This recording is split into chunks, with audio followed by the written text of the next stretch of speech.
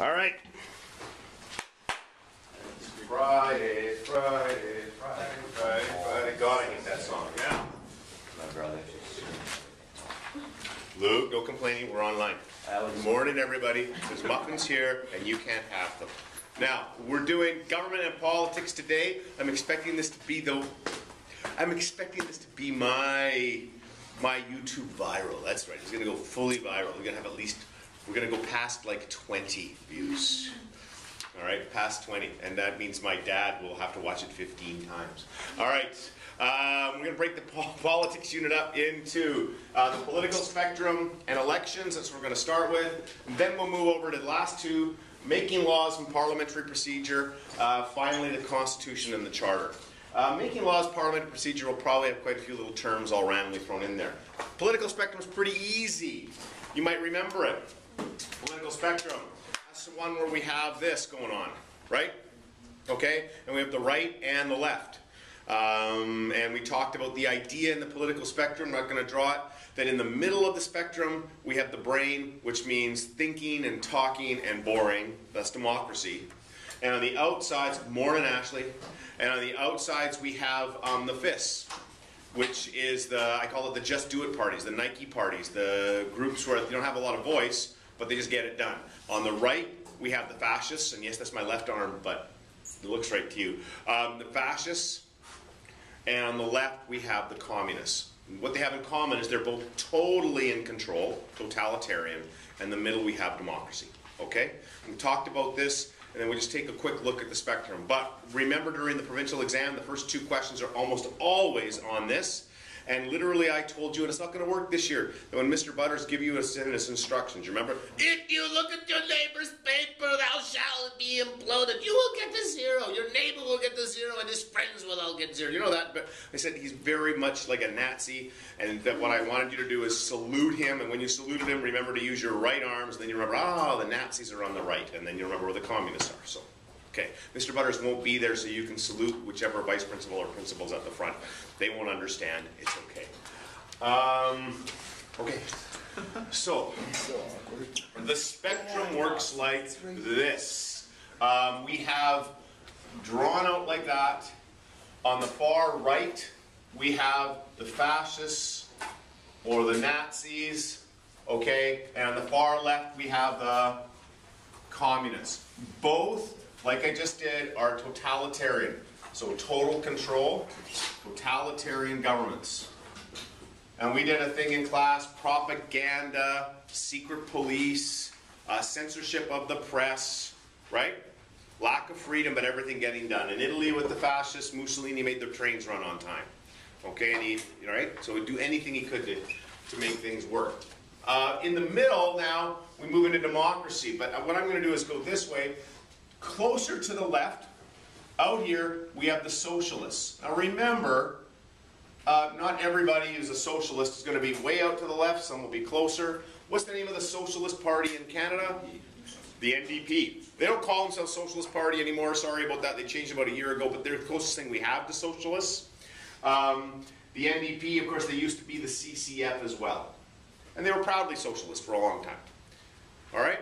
Uh, socialist countries in the world uh, Sweden, Finland. Uh, these are countries that are socialist. Let's go back and forth again. Uh, let's just go back to the fascists. Maybe we can do a quick set of notes. The fascists, total control, everything for your country. Everything for your country. Life, everything. Country comes first. Okay? Um, extreme nationalists, very much into the military. Remember we watched the, the little clip of the Indiana Jones um, when he was meeting Hitler and everybody's wearing a uniform and there was marching music and the books were burning. And I said, Spielberg, Nazis, 20 seconds, there's your image. If we were to jump over to the communists, the, the difference would be not necessarily extreme nationalism and extremely into the military, but still total control. In this case, the idea behind communism was we're going to make everybody equal, you're equal, damn it. Like literally, you're equal, like you're forced. The economy is totally controlled by the government. So in this case, it is total economic control, and the government or the bureaucracy runs everything. And that's where a guy named George Orwell wrote Animal Farm, and his point was was that the people running the government became corrupt. His, his argument was, uh, what was it? Uh, power corrupts, absolute power corrupts absolutely. Um, anyhow, again, total control, but with the goal of creating complete economic equality. Thank you, comrade. It's a comrade, it's equal. Um, over here, we're all together, but we're all together to make our country, our country's the best in the world. We're just going to build up a big military. What could go wrong with that?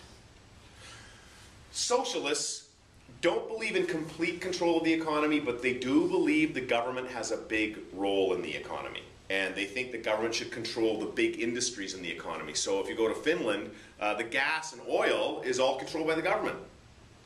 Okay? Um, and there's some industries in Canada that are controlled by government. Uh, BC Ferries is controlled by government. You know, though, so there are some things in our country that are controlled. In socialist countries, more things are controlled. Banks, for instance, could be controlled by the government, but they're not in Canada.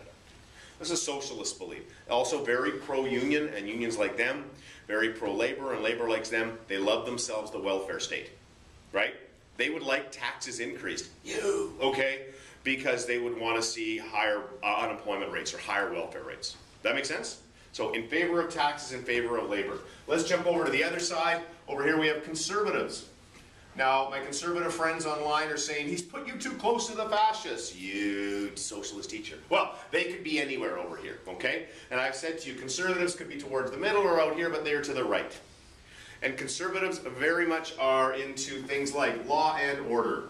They want to pass laws that are stricter. They're into minimum sentencing. If you do something wrong, there has to be a minimum sentence. Don't let the judge let you off too easy. Uh, they're into cutting taxes. They like business. They argue that business deserves freedom and businesses make jobs, private sector, private sector, private sector. So cut taxes, good for business, okay, law and order. Making sense? They also like the word conserve. And conserve means to conserve traditional values. So they were sort of the last to be in favor of same-sex marriage. But they are in favor of it. They move, they just move more slowly. They're not like liberals, they just go back and forth and back and forth. they're, hey, let's, you know. So conservative, a conservative could be painted by a liberal as, oh, you just want um, dad working and, and mom at home taking care of the house. Everything will be wonderful in the 1950s. That's not fair. Conservatives move. Some conservatives think that. Conservatives move, they just move more slowly. They want to preserve traditions. Okay, so conserve traditions. By the way, over here, social, we talked about they're into society. What's good for society, that's the socialist. Communist is what's good for the community and fascists are just crazy talk. Now, over we go to here, a little bit to the left, we have liberals. And the root word of liberal is liberty. Okay, and the confusing part for us is the Liberal Party of British Columbia is actually quite conservative, so that, that confuses people. But the traditional Liberal Party, sort of the, the federal Liberal Party, they tend to be a little more willing to see changes in um, things like, uh, they be, they're in favor right now of legalizing marijuana, and the conservatives aren't. Does that help? Okay, um, liberals came up with the Charter of Rights and Freedoms. So it was Trudeau with his Charter of Rights and Freedoms. Um, so, and liberals will be, again, they're not really in favor of taxes. Uh, they tend to be a little bit, but they'll be, how do I say this? They're, they're all over the place right now in Canada. But a liberal is usually in favor of liberty. They're more likely to try to back off on, um, on law and order a little bit. That do okay? All right, so here is our chart. If I were you, this tends to be where the provincial government falls down and asks their questions because, again, the liberals can move around in here quite a bit. How'd we do? We good to go? You all right? Political spectrum. Roy G. Biv. Wouldn't, wouldn't science be easier? Okay, um, now, back here. Elections in Canada. Uh, let's talk elections. What do I say about elections? Let's start with uh, the beginning of the process. Just start at the very, oh, remember that stupid, uh, the stupid six points on whatever page it was that they're going to ask you. Uh, all right, so an election in Canada starts with dissolution. And that sounds strange, but the Governor General is asked by the Prime Minister to call an election, and the Governor General, if he or she says yes, because the Governor General represents the Queen, when they say yes, Parliament dissolves. All the little MPs go out. It doesn't exist, and they have an election. So step one is always called dissolution of Parliament. It dissolves. Oh gosh, what are the other steps? Um, enumeration, is that one of them? And isn't enumeration, that's the uh, one where we uh, make a voters list. Now, the terms they'll ask us around this are Elections Canada, which is the name of the group. Remember we talked about the federal government? Elections Canada does this, and somebody called the Chief Electoral Officer. And um, his job is to create a voters list and try to make sure people don't cheat. Good luck. People cheat in politics because it matters. Doesn't mean it's right. Uh, after enumeration, we have, was it nominations? I think so. I think so. We're going to go with it. In case if I missed something, apologies. Um, nominations. Nominations are where the political parties pick their candidates. Okay? They pick their candidates. So the liberal, and when you get your ballot, it will have a liberal member, a conservative member. Who gets to be the liberal member? That's who was nominated only by the Liberal Party. Remember that? So the local conservatives pick their own candidate, the local liberals pick their own candidate, the local NDP, and the local independents don't because they're independent. There. Uh, then we campaign, which is we go out and say vote for me, or we usually say don't vote for the other guy because he sucks. That tends to work better. We love to hear negative stuff. Uh, following the campaign, we vote, which I believe the textbook calls polling. I'm really not sure why, just to make it sound more intellectual. And then finally, we count the ballots, but that sounds too easy to understand, so we call it tabulating. Now, that was, remember that? I said to you, this, this is the most insane multiple choice question you will ever see. And when you see it, you can go like this, and then get it right.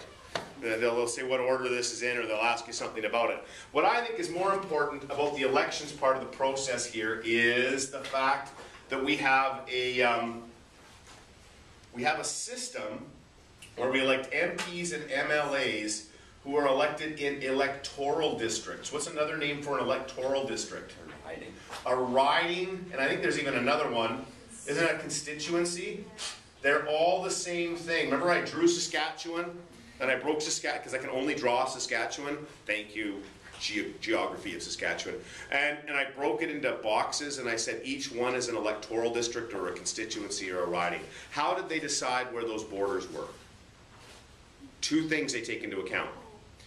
The population and the size. Okay, so population and size is matters. And remember, each one elects one MP or one MLA and they send them there. And then we talked about our first past the post system and how it's possible for one riding to elect one person by just, you know, winning by just two votes. And that's why our system can be kind of unfair. Do you remember this or not? Okay, how am I doing? Are we good? Good morning, Emily. Good morning, Megan. They look so happy to be here. Okay.